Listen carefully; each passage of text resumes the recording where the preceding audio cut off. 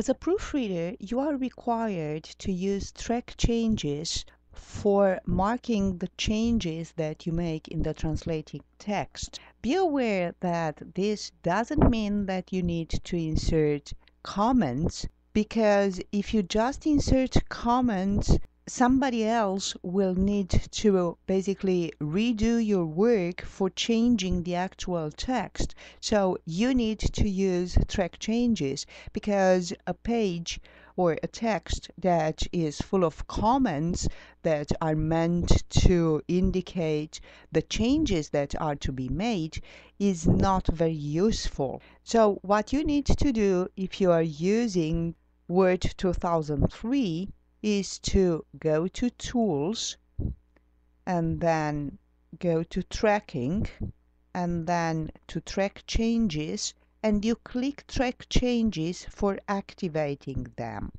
An easier way to do this is by hitting the shortcut Control Shift E.